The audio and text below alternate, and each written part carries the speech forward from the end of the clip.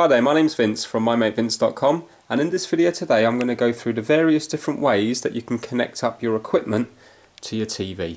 Now you might want to do this to be showing off your photos or more than likely is to watch things like BBC iPlayer, Netflix, Now TV, that kind of thing. Now a lot of TVs these days are smart but if your TV is a cheaper version or an older version then it's not going to be smart. So you're going to have to connect a piece of equipment to it to make it into a smart TV so you can watch your BBC iPlayer and Netflix, etc. So in this video I'm going to go through some of the ways going from more older equipment up to more up-to-date equipment and also on a, a variety of TVs as well. So hopefully there will be some setup in this video that will mimic the setup that you have in your house and you'll be able to copy it. Now it will be quite a long video but hopefully hopefully you will find it helpful. So what you have to do is first of all you need to look at the back of your TV to see what kind of connections you have. Now most TVs within the the last six, seven, eight years will have these HDMI ports, ports and also a lot of TVs, even the older ones, will have a VGA port and then you will also have your audio's audio in as well. Now, if you're using HDMI, then that will carry picture and sound. But if you're using using the VGA, that will only carry the picture. So you will have to use the audio in left and right. Now on this TV, these are RCA, also known as phono connections. But I have got a TV in the kitchen that uses a 3.5mm jack, so I'll show you that one as well. And hopefully between the two, that will mimic what you have. Now, if you can use HDMI, then do that one. It's by far the better picture. But if you, if uh, for example, your laptop hasn't got HDMI, then you will have to use a VGA. So let's go through the equipment here and see what we've got. So we've got a laptop here. It's quite uh, quite a few years old now. And this one, if you have a look down the side, it hasn't got any HDMIs on it. So have a good look around your one, see what you have. So on this one I've got no choice, I have to use a VGA, which is this port here. Now with the VGA leads, you can either get VGA or SVGA. Go for the SVGA and also, if possible, get one with a 3.5mm plug built into the lead. So for example, this is a lead that you'll be looking at.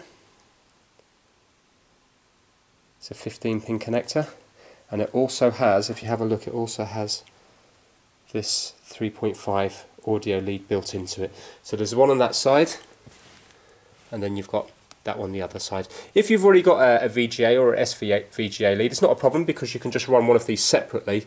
But if you're buying a new one, you might as well get one of these with the lead built in because it's all in. It's uh, it's an all-in-one lead, so you don't have to buy two separate leads. So just to show you working on this one to begin with you plug in your VGA into the computer here. You then plug in the 3.5 into the headphone jack. So not the microphone jack, but the headphone jack. You can see there because it looks like a headphone. The headphone jack. And then the other end of the lead, plug into the VGA on your TV. Now, as you can see, I haven't got a port, port on my TV for a 3.5mm jack. So what I'm going to have to do is, I'm going to have to use one of these, which is a 3.5mm jack to twin phono, or to 2 RCA. It's that shape there. And to join this 3.5mm jack to the other 3.5mm jack, I'm going to have to use a, a coupler or a 3.5mm joiner. Okay, so you put that one on there, and what that does, it turns a male into a female. So plug that one in this side, like so. And then these leads are marked up as red and black. So put red to red, and we haven't got a black here, but we got the white, so put the black to the white. Obviously, if your leads are red and white, we'll plug red to red and white to white. So now we will have the computer connected up to the uh, TV via the VGA lead and also we, which will carry the picture and also the sound will come through the phono plugs. So what we will have now is whatever we have on the laptop will be on the TV. So if we go to source on the TV and you need to go down to VGA stroke PC.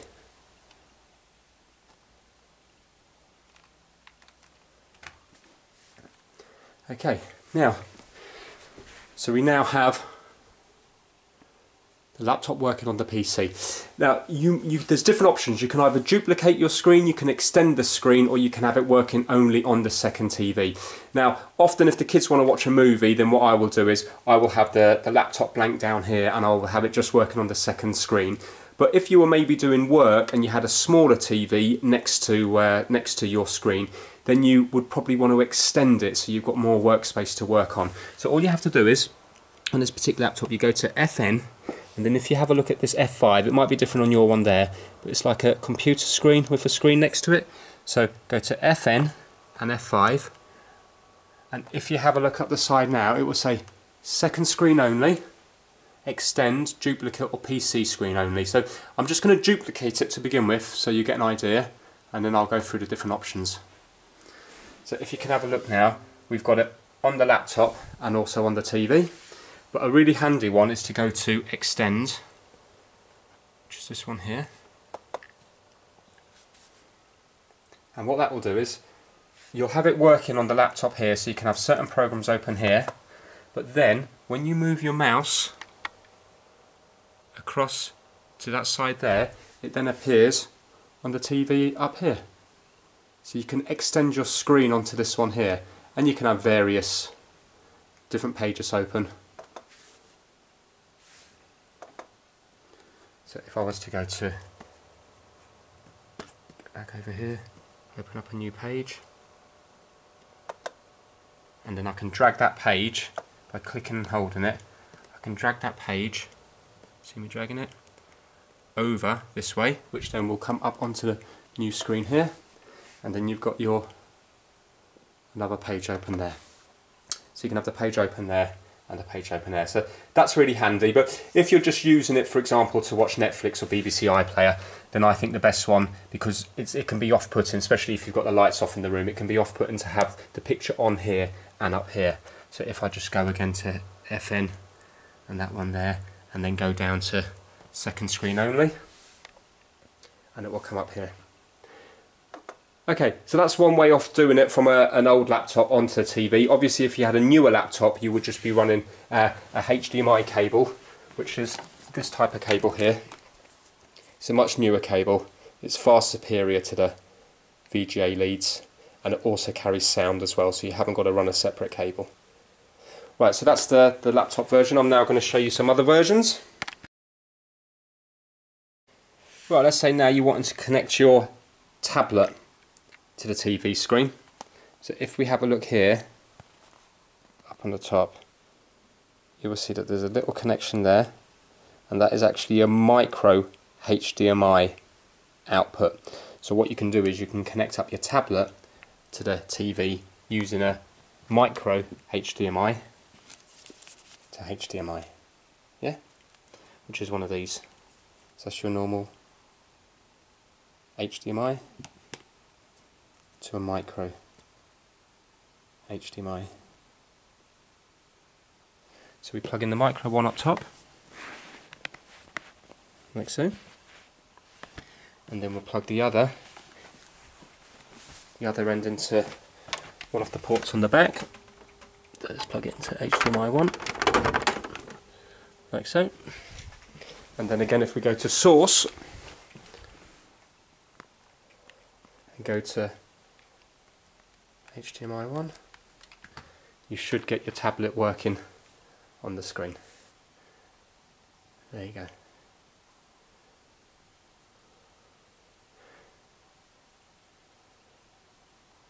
And then you can pick whatever you want. So if you want to pick your YouTube you can do. And that's another way of watching, making your TV into a, a smart TV.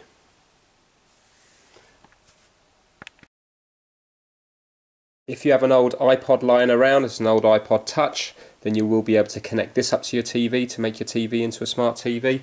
Or if you've got a new iPod Touch, you will be able to do the same as well, or your iPhone.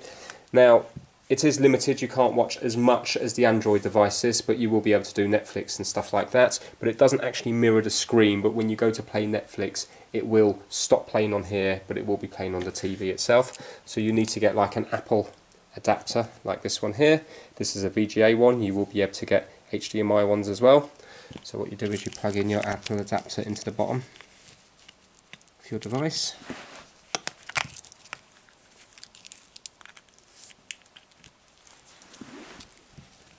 then you need to plug in your VGA lead into the adapter,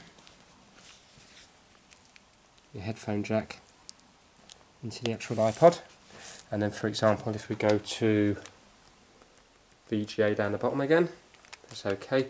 It won't mirror it, but if you were to go to, so it will just come up with a blank screen so you'll think it's not working, but then when you go to something like Netflix,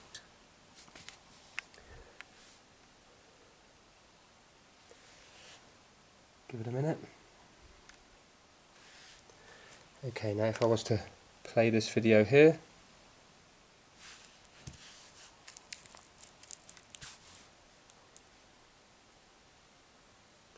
and there you go, it will be coming up on the TV. Okay, but yeah, it's not, it's not on the screen there. So it's not as good, but it still works. If you're using your newer iPod Touch, then you'll have to get an adapter with a lightning connector because this one here is the old-fashioned adapter. But you can get these adapters, lightning adapter to VGA and lightning adapter to HDMI. Another good one for turning your TV into a smart TV is a games console like this Xbox One or for example a PlayStation 4 and your children will thank you for it as well. So there it is down there. Not only do you play games but it's got a huge amount of apps on it as well so these are just some of the popular ones Netflix, YouTube, go down you've got BBC iPlayer, now TV, Amazon, Channel 4, Demand 5, Vevo. There's lots of apps to choose from. Okay, it works well, it's nice and quick, good picture quality, and there's no major whirring coming from it, so you can easily watch a film or watch one of your documentaries via a games console. And that plugs in via HDMI on that one. Right, another really good gadget is this Roku Media Player. This one's quite a few years old now. I think it was about £80 then. I believe they're a lot cheaper now and they've got more features on than this one. But with this one it's got a HDMI output, so it, it's full, H, uh, full HD 1080p, so it's a really nice picture. It's got a, a, wired connection for your Ethernet, but you can also use wireless. That's that's up to you. I prefer a wired connection because I've got the house networked, but rather than running cables you can if you're near to the router you can just rely on the wireless and uh, this has got loads of features built into it so you can download all your BBC iPlayer, ITV, your Netflix, your Now TV so this is uh, a really good box here. So we're going to be using the HDMI coming out of the back of it. Plugging it into the HDMI one port there. Doesn't matter which port you use one or two. And now if you have a look up here, we've got a whole array of apps and everything, and there's there's loads more that you can search from.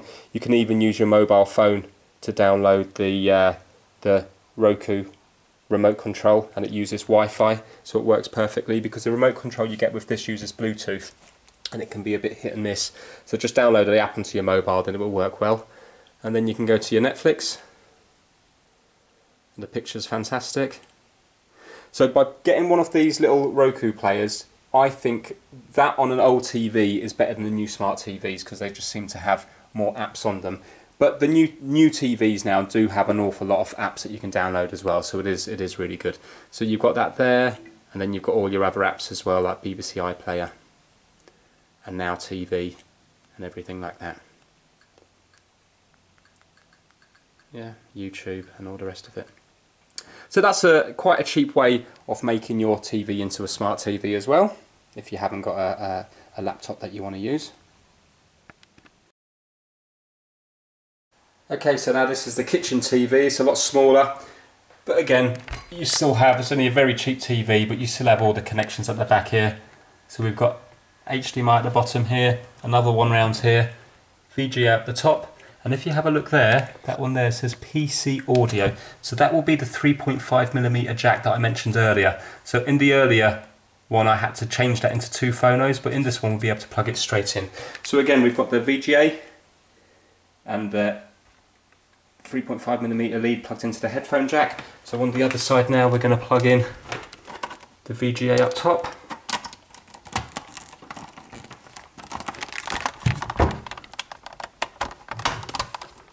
Like so. And we're going to plug 3.5 straight into the PC audio. And now if we go to on this TV it says input. So you go to input to scroll through and you'll need to go to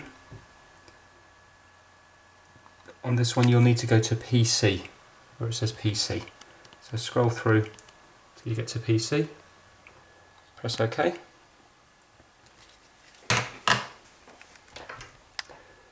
now that should be mirroring what we see down here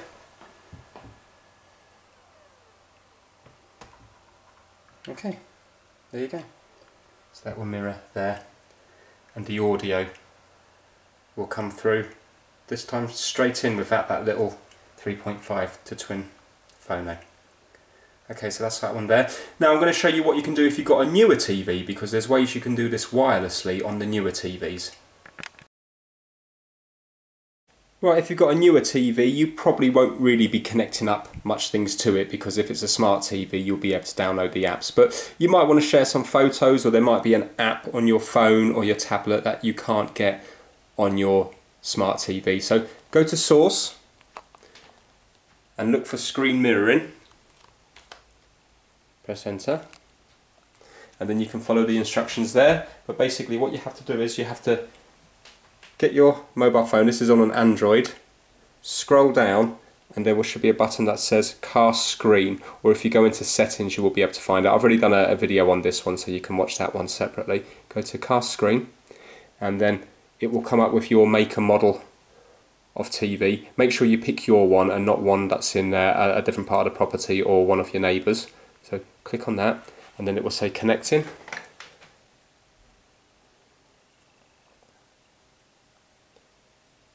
Okay. And then if you have a look there it will mirror it will mirror your TV so if I go to home and if you put it on the side if I go to for example YouTube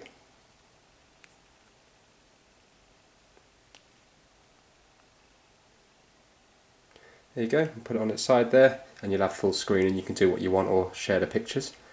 Okay, so that's how you can mirror your mobile phone to your TV. Now there's also a way you can mirror your your Windows 10 PC or laptop to the TV wirelessly as well using Miracast. So I'm just going to show you that one now. Right, on your Windows 10 PC, go down to this little icon down here click on it and then go to project. And if it says connect to a wireless display and if your TV supports Miracast as well then you will be able to actually connect to your TV without using any cables. So if I click connect this one here connect to a wireless display and basically it's uh, searching for items and there you go it's got my TV there. So click on this and it says connecting and hopefully now on the TV it should say connecting There we go. And again, you can do the different ones where you can project it, you can extend it. So if you go to here to change projection mode, then you can, for example, go to either duplicate, which it is at the moment, focusing, or you can go down to extend, second screen only. So if you want to extend it, then basically it will bring up a whole new one there that you can open up new pages and then that's like a in a way like having a separate computer. Okay. If you go to duplicate, you can put your TV, uh, you can put your photos on here or watch Netflix on here, and it will come up up there. Okay, I hope you found it useful. There's uh, it's quite a long video. I apologise for that, but there's quite a few different scenarios there, and hopefully one of them will be able to fit your needs. Okay, if you liked it, give it a thumbs up. Please subscribe for more how-to videos. Thanks very much. Take care. Bye now.